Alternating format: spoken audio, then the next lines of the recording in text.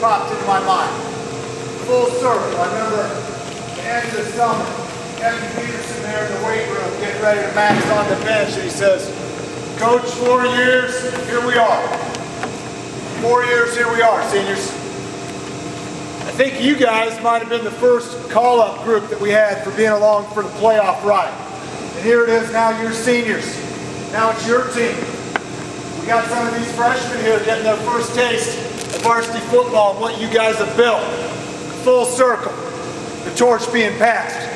We got a hell of a lot of football left to play in the postseason, but for regular season, we've come full circle. Here we are, together, where we started. Now think back to, to the beginning of the year. First practice of the year. You guys have been dealing with people having their eyes on you the whole time. I remember there's the camera crew that's there and they said to me, they said, hey, what do you admire about these guys you coach so much?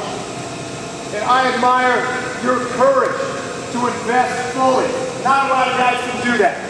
They're not willing to put it all out there, not knowing what's going to happen. You put it all out there, giving everything you got, knowing that guy next to you is going to give everything he got. I admire that so much.